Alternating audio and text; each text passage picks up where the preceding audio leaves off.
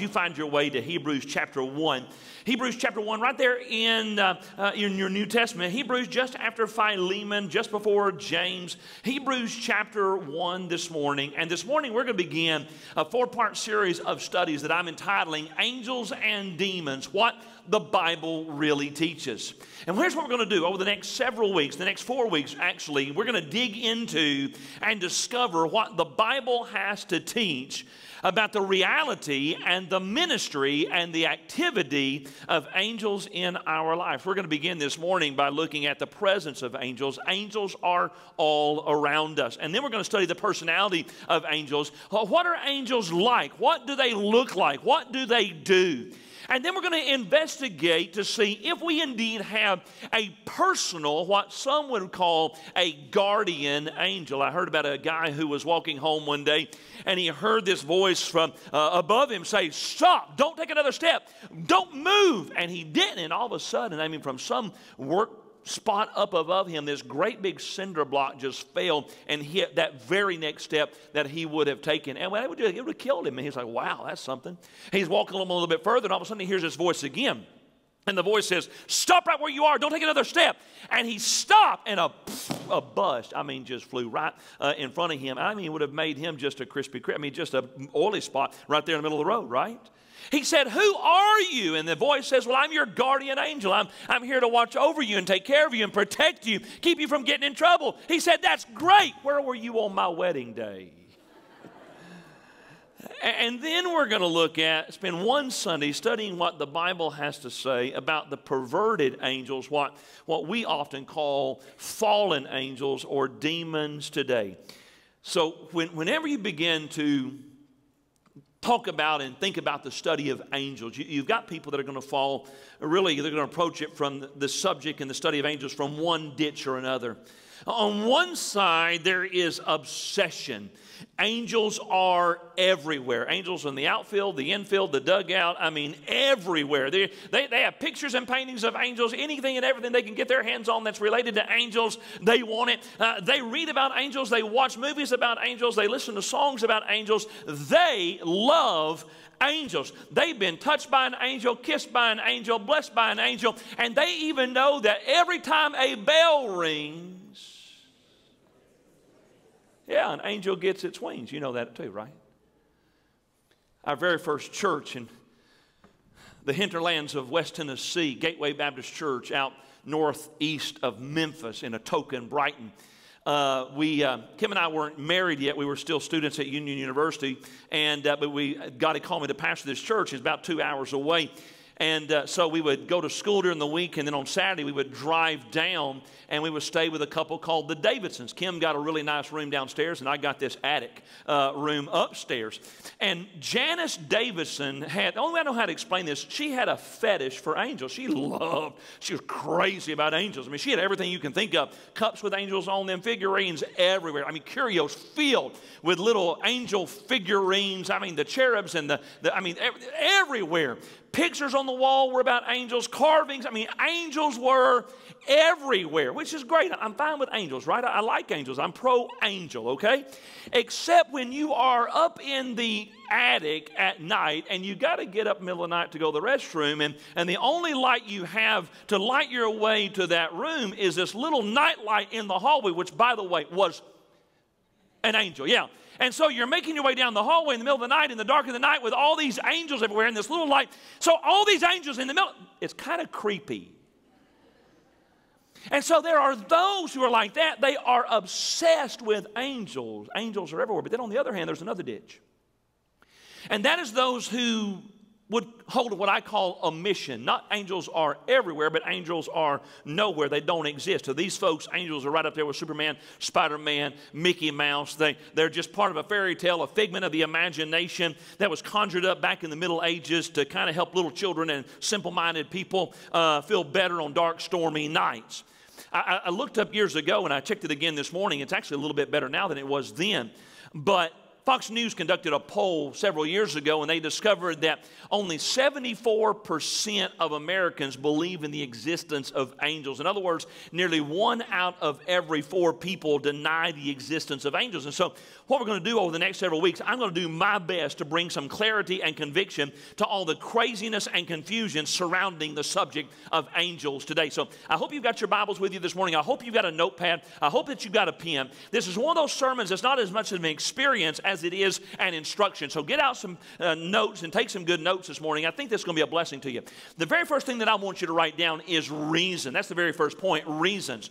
Why do a study on angels? I mean, just being honest, there are a lot of other things that we could study here in the middle of the summer that we could give our time to that, that might in some ways be better. matter of fact, we are going to do some neat studies. Uh, August is always that month that we spend on marriage and, and relationships and sex and that sort of thing. And, and even this morning, um, I, came up with a title, and so we got to figure out how we're going to get this done. But in August, I'm planning on doing a series called Identity and Intimacy What God Has to Say to a Sex Crazed, Confused World. And so we're going to be looking at that later on this summer, and then in the fall we'll be looking at what maybe what we believe and who's that's so. So, but why give four weeks in the middle of the summer to the study of angels? I mean, why, why are we going to spend looking at what the Bible has to say about good angels or fallen angels or demons? Let me give you several reasons that I think why we should. Number one, if you're taking notes, to increase our knowledge of the Word of God, to increase our knowledge of the Bible. There are over 273 references to angels in the Bible, and the word for angel is used 108 times in the Old Testament, 165 times in the New Testament. Angels are mentioned 34 in 34 out of the 66 books of your Bible, 17 books in the Old Testament, 17 books in the New Testament. Abraham, Moses, Gideon, David, Isaiah, Ezekiel, Hosea, Zechariah, Job, Daniel, Philip, Peter, Paul, James, John, and even Jesus, just to name a few, all talked about and encountered angels in their ministry. And so we're going to begin looking at the study of angels in order to increase our knowledge of the Word of God. But then, number two, to provide comfort and assurance. And we're going to see, even beginning here this morning, how God assigns angels to deliver us from physical danger. Another reason to increase our faith in a sovereign God who ex- exercises control over the world and the universe through these ministering spirits called angels. Another reason to increase our appreciation for God's holiness and righteousness. So you've got those angels there in Isaiah chapter 6, and they're before the throne of God, and they're shouting and singing back and forth to each other Holy, holy, holy is the Lord of hosts. The whole earth is full of his glory. We're going to see why and what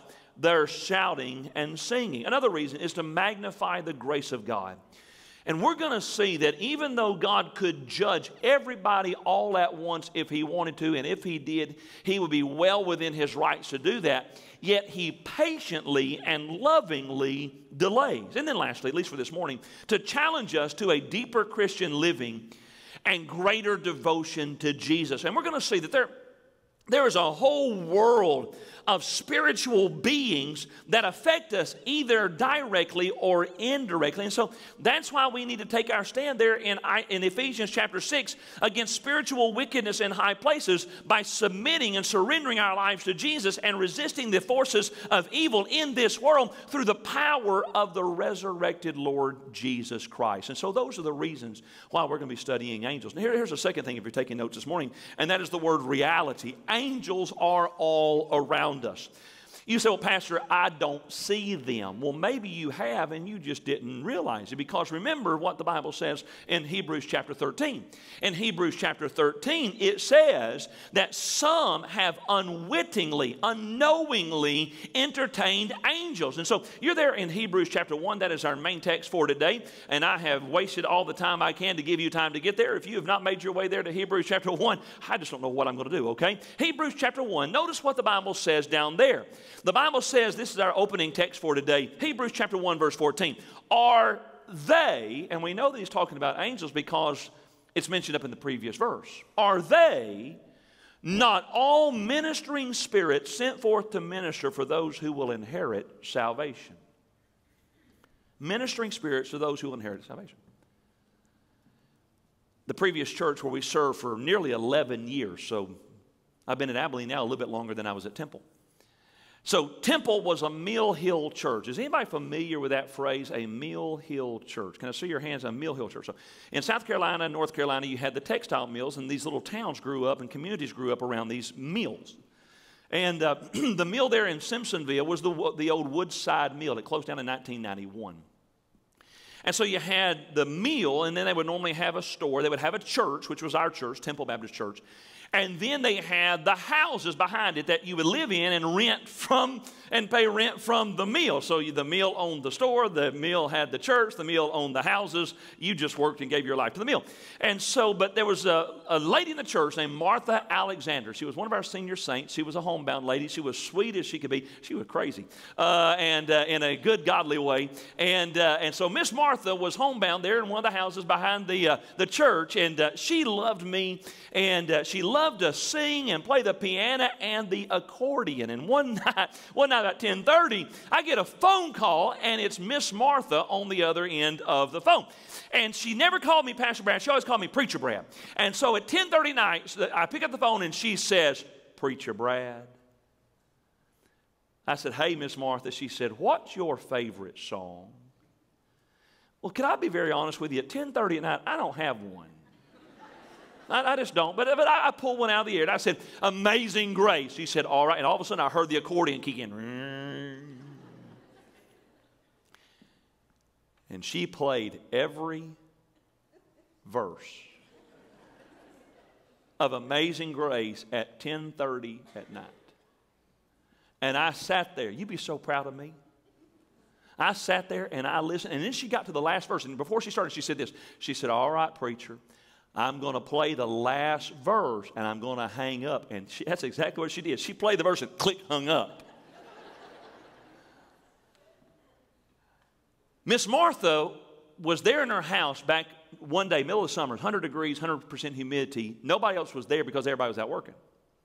And she had walked to the end of her little concrete driveway or walkway and to get the mail, had her, had her walker. And somehow when she got out there and got the mail, she fell and she couldn't get up. And she's laying on this concrete, this hot concrete on a 100 degree day, nobody around to help her. And she realizes if I lay here very long at all, I'm going to cook to death. And then she told me later, she said, Preacher, a man that I have never seen before and I've never seen since, all of a sudden appeared out of nowhere, helped me to my feet, got me into my house, helped me dial 911, and I turned around and he's gone. You say, How do you explain that? I don't know how you explain it other than the fact that the Bible says God sends forth his angels to minister to his children. Sam Cathey, who preached here many, many, many times over the years. I was talking to Sam about this years ago, and he, he was talking about when he was a younger man, a much younger man. Hey, I think he was flying from Michigan uh, back to Oklahoma City, and uh, he had gotten to the airport a little bit early, and so he was hungry. If you remember anything about Papa Sam, uh, he loved hot dogs and Coca Colas. And so he had gone down, and found a restaurant in the airport to have a hot dog and a Coca Cola. And uh, so he went down there and, and he uh, was taking his time, just enjoying that hot dog and that Coca Cola. And all of a sudden, time got away from him, which it had a, habit, had, it had a habit of doing. Uh, and so he realized, wow, I'm going, I'm going to be late for my plane. And so it's time. And so he gets up and he runs down to the gate, and the door is shut. The plane is gone. And he tells the, the flight attendant or the gate, gate agent there, he says, I need to get on that plane. And he said, I'm sorry, the gate's closed, you can't go, the plane's gone. He said, Wait a minute, I got to get on that plane. He said, Well, I'm sorry. He said, Matter of fact, I, I got to get on the plane. He says, You are on that plane. And Sam says, No, I'm not on the plane, I'm right here. And here's what the gate agent said. He said, I watched you get on that plane. I helped you make your way down there myself. Sam tells the story. If it's, a, if it's a lie, it was his lie. Sam tells the story that the plane crashed. I went back to look, and there was a plane around that time from Michigan to Oklahoma City about that time that crashed. And I asked him, I said, What do you think? He said, Here's what I think. I think God put an angel on that plane in my spot in order to protect me. You say, well, how do you explain it? I don't, other than the fact that, again, that God has His ministering spirits to take care of and minister to His people. So let me ask you a question this morning. As you look back over your life, can you remember those times when it was evident that God sent His angels to protect you? Can anybody remember those things? Can I see your hands? Maybe you were driving late out at night, wrecked something like. Yeah. And so some people say, well, Pastor, I just got lucky. It was just a coincidence. It was happen chance. Look, you don't call God luck. You don't call God coincidence. No, right? A lot of people will talk about coincidence and happen chance when they ought to be saying God. God did this for me. God took care of me. God had His way. God had His will in my life. And what a great testimony it would be for us as believers if, when things come into our lives that we can't explain, that instead of saying, I was lucky or happen chance or coincidence had it, that we would say loudly and boldly, where our neighbors and our family and our friends and our coworkers and classmates could hear it. Look at what God did. Look at how God took care of me. Look at how He moved. Look at how He ministered in my life. The Lord did this. He rescued me from this terrible tragedy. He delivered me from this serious situation. He worked a miracle in my life. Wouldn't that be, bring praise and glory and honor to our great God? I'll just be honest with you. As I look back over my life, there are times in my life where I'm just absolutely positive and, and certain that God protected me. And maybe He did it through one of His ministering spirits that we would call an angel. Why? Because I am an heir of salvation. Let me give you another passage of, of Scripture to look at this morning. Turn over to Psalm 34, verse 7. Psalm 34, verse 7, we're looking now at why we believe in angels because they minister here on earth and they minister to God's children. But let me give you another verse to think about this morning as we take it a step further. Psalm 34, verse 7, the psalmist says that the angel of the Lord encamps all around those who fear him and delivers them. It's great to be able to say, right? It's great to be able to say that the angel of God has been with me or the, the angel of God has been with you. But here in Psalm 34, verse 7, the Bible takes it a step further. And the psalmist says that he has given his angels to encamp around the child of God, to deliver the child of God out of the hand of the devil or some other terrible situation. But he tells us here in this verse that there is a very special, specific, particular requirement that must be true in the life of that child of God before his angel will do that. And you know what that characteristic is? Look at it right there. Those that fear the Lord. Those who fear the Lord. You know, are y'all still there this morning? What really limits the work of angels in a lot of people's lives is that they fear anything and everything except God. They fear family members. They fear peer pressure. They fear what the world would say or think about them. They fear anything and everything except God. There's no fear of God in their life. And yet, the Bible says that the angel of God is going to work in the life of the child of God who fears Him. One who has a holy reverence, one who has a righteous respect for God in their life. You say, Well, Pastor, I just don't remember. I don't think I've ever had any experience like that where God has, has sent angels to minister in my life. Well, you might have said more than you meant to say. Because that would simply mean that either you're not a Christian, or if you are a Christian, you do not have a healthy, holy fear of God, a righteous respect and reverence for God in your life. See, I believe that angels are real because of their earthly ministry. They're active and real in our life. Here's the third thing that I want you to write down this morning. Number three is realization. And this is where you need to put on your thinking cap. There is a realization, a distinction, if you will, that we need to make as we begin our study on the subject and the presence and ministry of angels. And, and so the word angel is found, by the way, in both the Old Testament and the New Testament the word for angel found in the Greek and the Hebrew, it, it simply means messenger. That's just what it means. Greek is angelos, and you can even see it on the page angel, angelos, messenger. That's all it means. As a matter of fact, for some of you, this is going to be, it's going to blow your mind.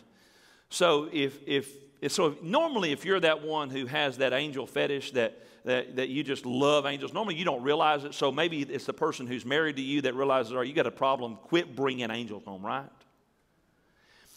But this is going to blow your mind. Did you know that in the original language that the word angel is not feminine, it is masculine?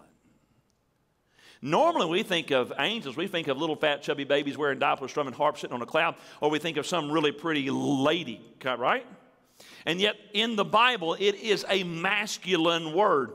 That blows my mind. Just be honest, I'm not sure that the word angel isn't so much talking about a person or a created being as it is the office of that one that God has created. So that brings us to this question What is the ministry? What is the office work, if you will, of an angel?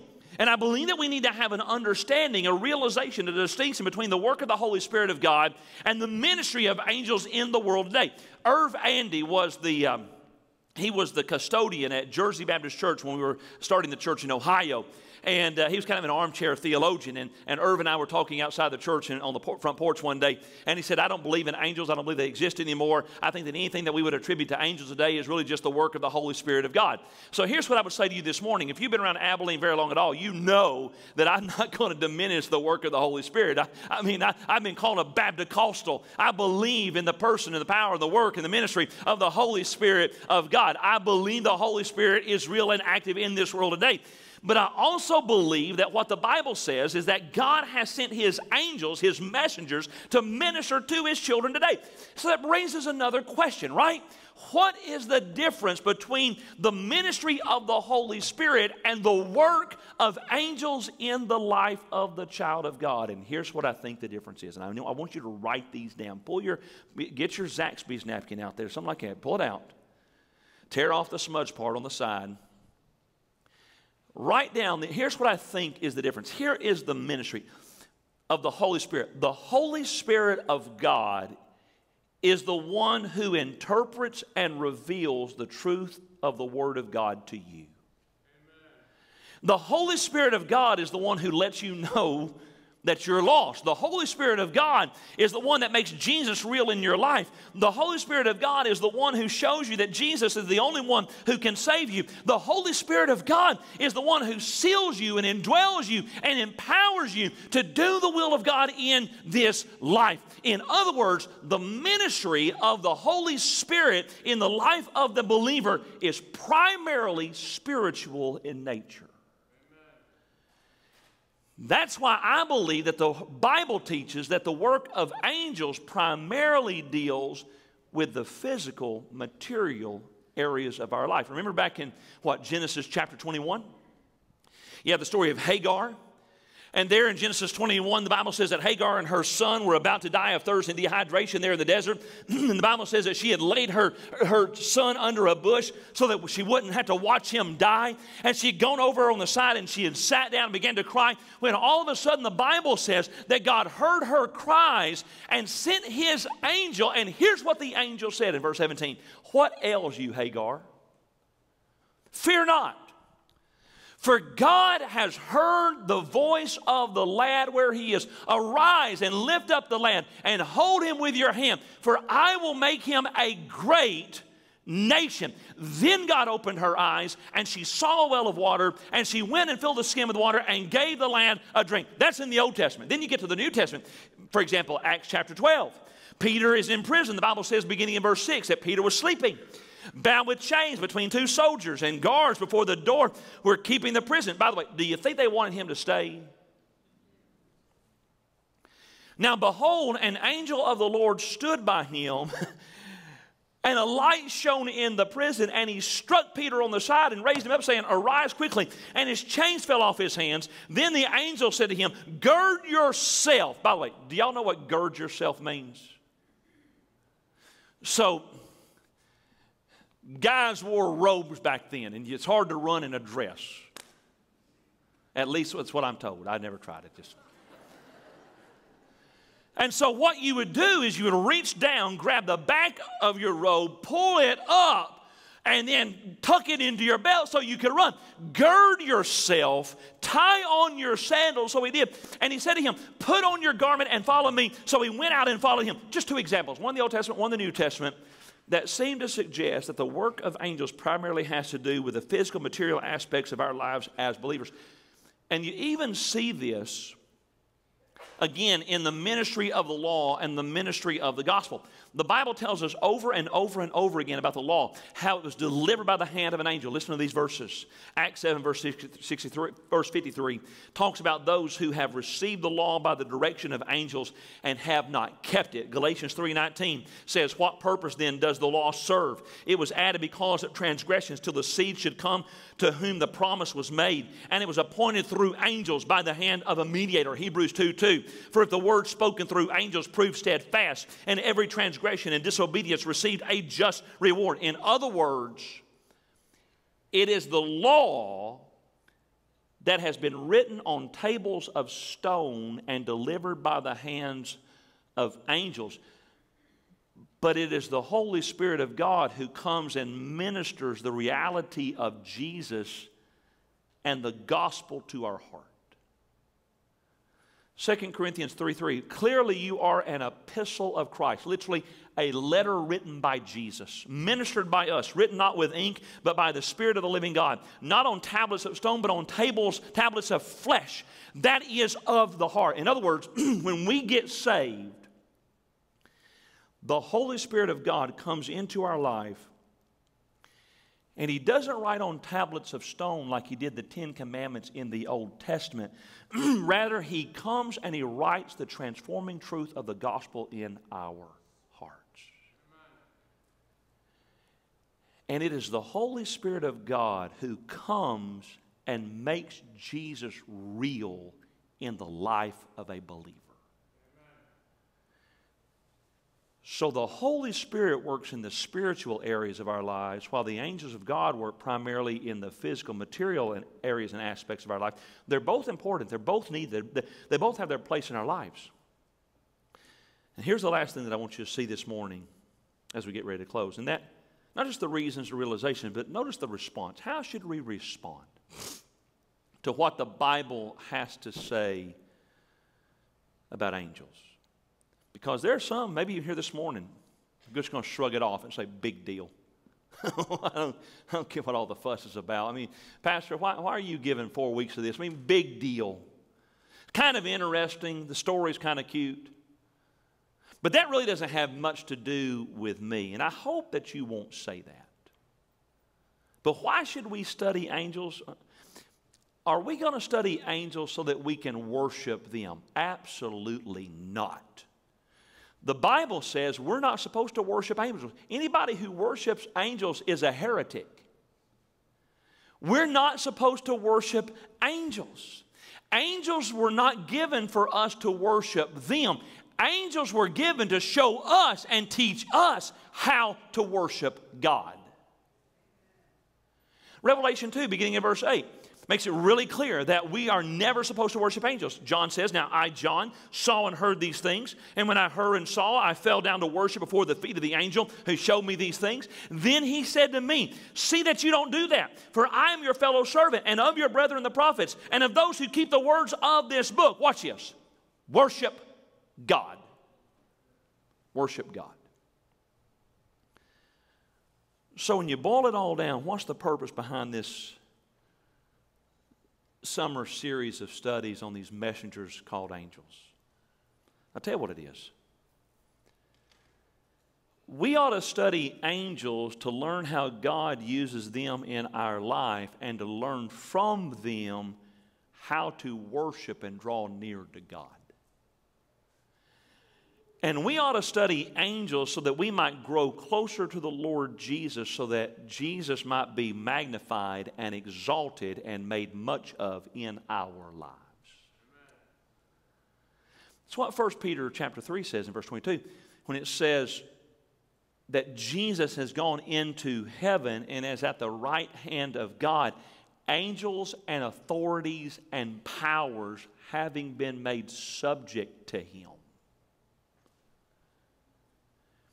When we get through studying what the Bible has to say about angels, if we are true to the text, if we are faithful to the Word of God, you know what it's going to cause us to do? It's going to cause us to do exactly what the angels do to bow down and worship Him. To love and adore and exalt Jesus, to lift him up and make much of him. Maybe you're here this morning and this seems like cuckoo for Cocoa Puffs. Crazy. And all that I've been talking about this morning about tablets of stone and written on the hearts of our flesh and angels, and all, it makes no sense to you. And it may be because you've never come to know Jesus. It might be because you've been a good person, raised in church, tried to live by the golden rule, but you've never come to know Christ. Did you know, and we're going to find out this more later, did you know that there's one song that the angels can't sing that you and I can? Amazing grace, how sweet the sound that saved a wretch like me. I once was lost, but now I'm found, was blind, but now I see. Angels can't see that. They, they know nothing of the miracle of redemption that those of us who are Christians know, right? And if you're here this morning and you've never come to know Christ, you've never been saved, you could, you could experience that in your heart, in your life, before we stand up and sing before, definitely before you leave this place today.